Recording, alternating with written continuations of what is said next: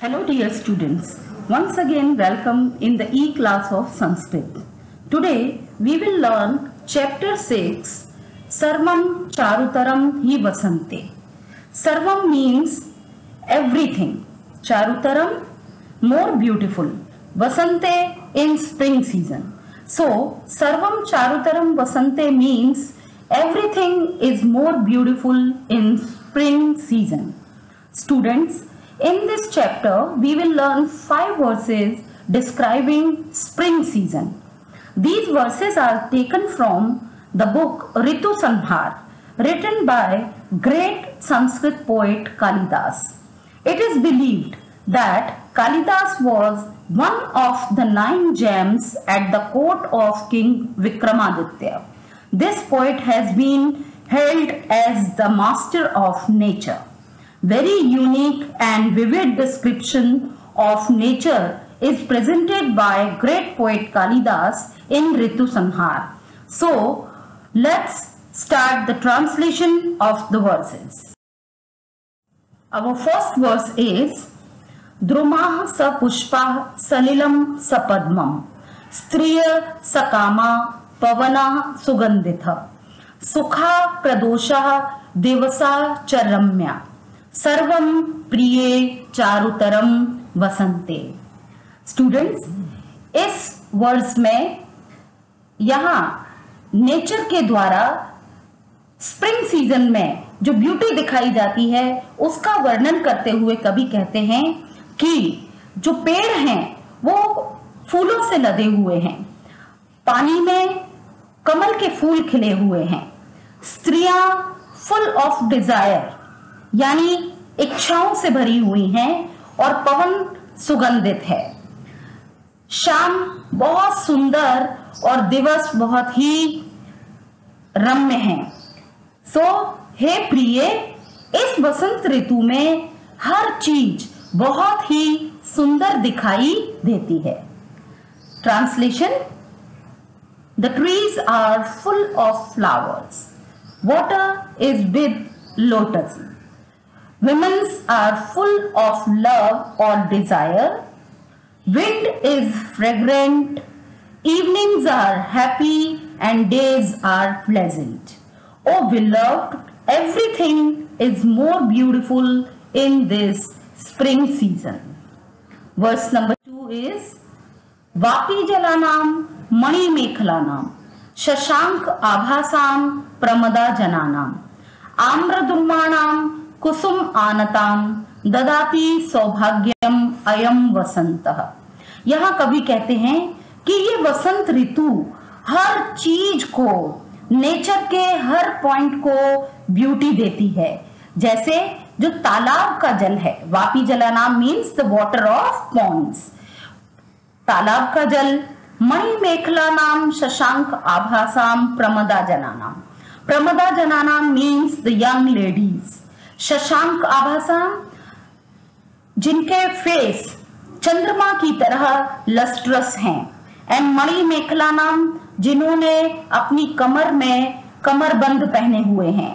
उनको और आम्र द्रुमाणाम आम्र द्रुमाणा मीन्स द मैंगो ट्रीज कुसुम आनताम, जो कि फूलों के वज़न से झुके हुए हैं।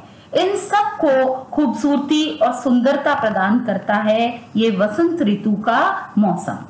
The translation is this spring season gives beauty to the water of ponds young ladies wearing best band of jewels and having lustre like that of moon and the mango trees belt with the load of flowers our third verse is कर्णेशु योग्यम नव कर्णिकार चलेशु नीलेशु अल्केशु अशोकम।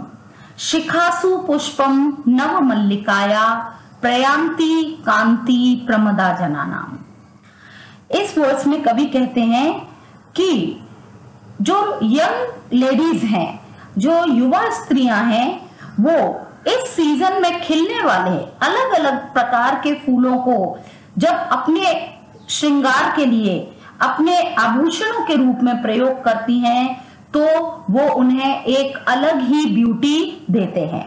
जैसे fresh कर्णिका के flowers उनके कानों में बहुत सुंदर लगते हैं।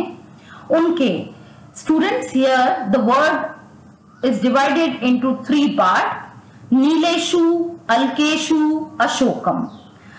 So all four words means चलेशु, यानी मूविंग नीलेशु, ब्लैक, अलकेशु, hair, Ashokam means the flower of Ashoka.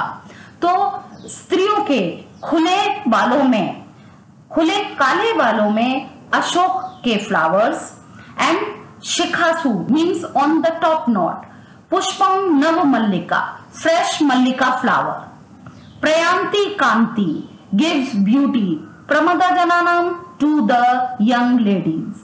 So the translation is, in the ears of young ladies, the fresh flowers of Karnika, in the loose black hair, the flower of Ashoka, and on the top knots, the fresh flower of Malika attains beauty.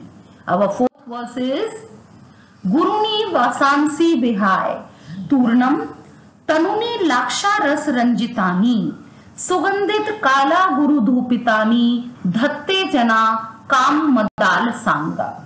Students as we all know कि spring season is very lethargic season everyone feel laziness so यहाँ पे कवि कहते हैं कि जो बहुत lethargic लोग हैं या बहुत डिजायरस लोग हैं, वो अपने हैवी क्लोथ्स को जो उन्होंने पहने हुए हैं, उनको तुरंत गिव अप करके उतार के थिन और बहुत पतले वस्त्र धारण करते हैं और उन वस्त्रों की विशेषता है कि वो लाख के अलग अलग रंगों से रंगे हुए हैं और उनको जो सैंडलवुड है, उसके स्मोक से फ्रेग्रेंट किया हुआ है। उन वस्त्रों को लोग धारण करते हैं, करना पसंद करते हैं इस ऋतु में the translation is people whose body is feeling lethargic due to ecstasy of love quickly give up heavy garments and wear the light garments that are dyed with lac and fumigated with the fragrant smoke of sandalwood. Our last verse is verse number 5 किम किंशुके सुख मुखच्छ भिन्ना भिन्नम। किम कर्णिकार कुसुमेर्न हतः मनोजे?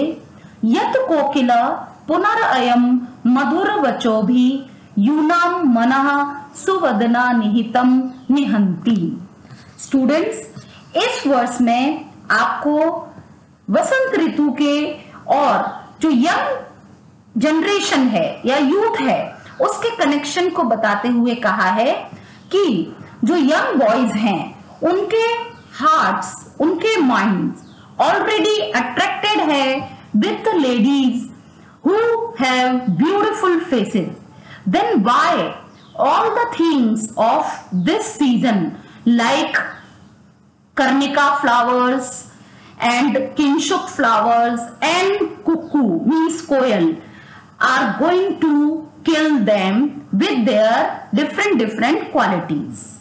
The translation is is not the mind or the heart of youths interested in the ladies with beautiful faces broken by the kesura flowers, bright like the beak of a parrot. Is it not defeated by the beautiful Karnikar flowers? Then why this cuckoo is going to kill or is killing it again by its sweet cooing. Students, that's all for the translation and this video as well. I hope this will help you to understand this chapter.